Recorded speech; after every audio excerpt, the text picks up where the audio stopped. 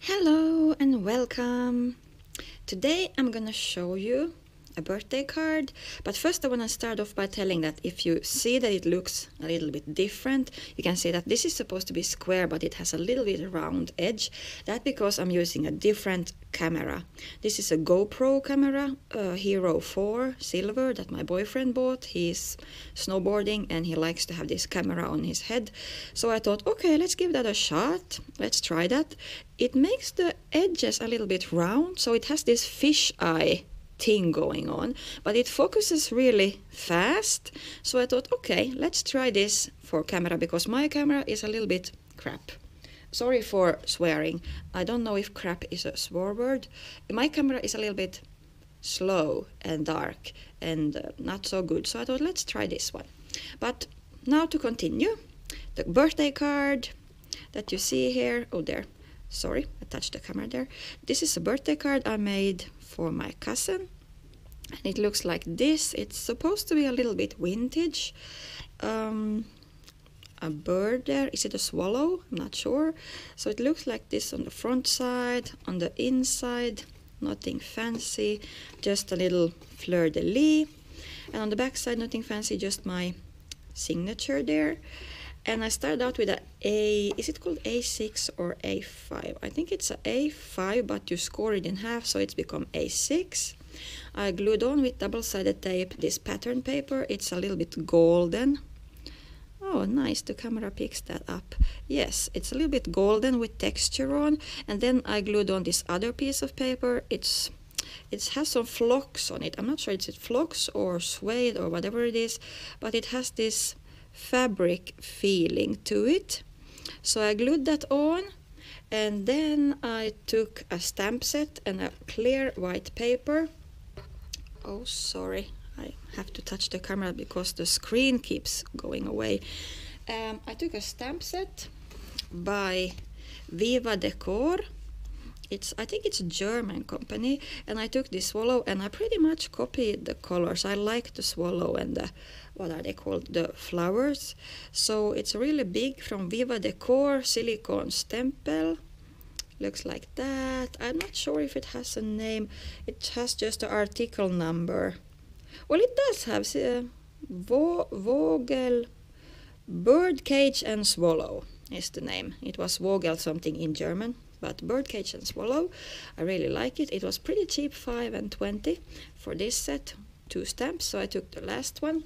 I stamped it on with black ink and then i actually used some of of of of a watercolor paper water watercolor brush. You put water in here and then you just paint with it, pick up a little bit of color and paint. And these are by Distress Ink Tim Holtz.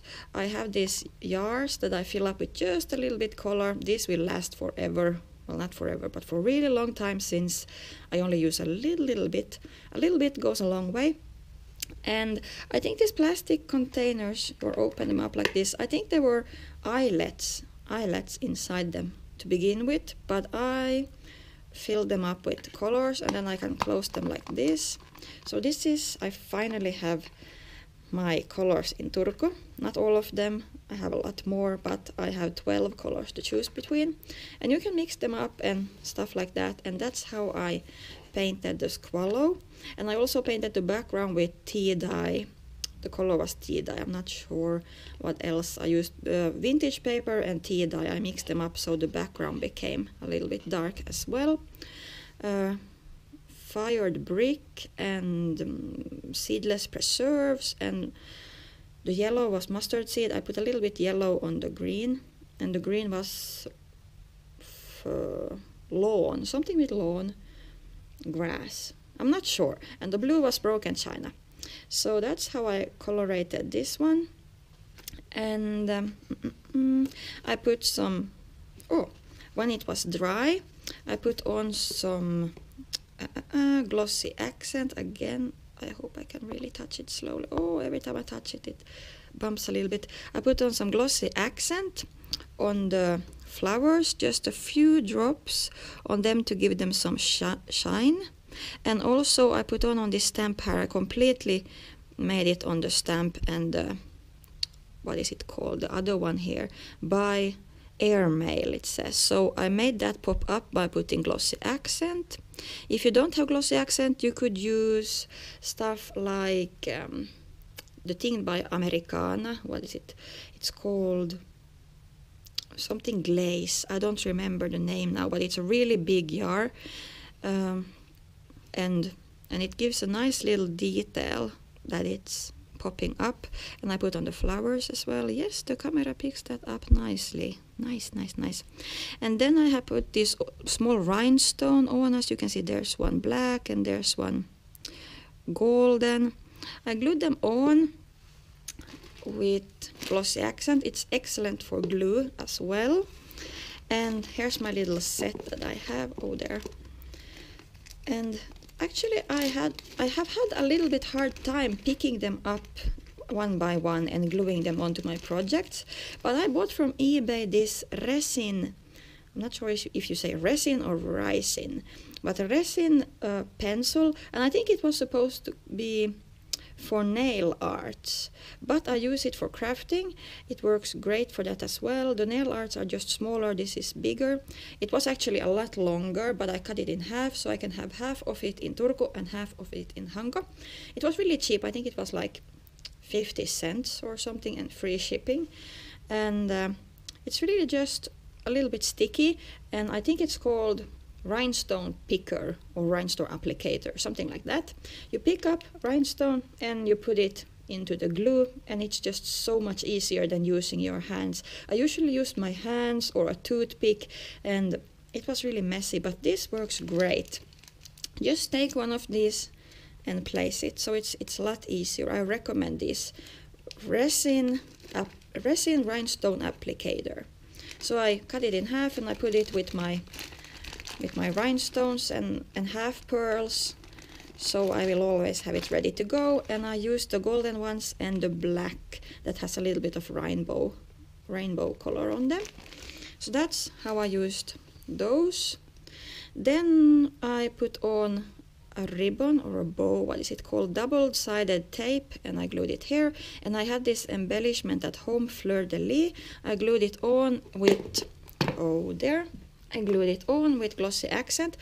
I would prefer to use hot melting glue gun and use that instead to glue this on. That's way more secure. But I was in a hurry so I used glossy accent and it is pretty pretty nice and tight there so that's okay as well. And that's pretty much how I made oh and I cut out because it was a A6 paper and I cut it out with Probably my favorite scissors, Fiskars Victorian. Victorian. It's just called Victorian. Victorian by Fiskars. It has this nice edge, so I cut them out. You could, of course, distress the sides here, so it would look a lot nicer, but I thought it would be a little bit subtle, so I put it on like that. Um, that's how I made the front side. The inside, nothing fancy, just a little single stamp. It doesn't have a name. I bought it on a flea market, so it's just a clear acrylic stamp. And I'm gonna have my greeting here. And that was pretty much how I made this card. Mm, if you have any question, please let me know. And thank you for watching and uh, have a nice day. See ya. Bye bye.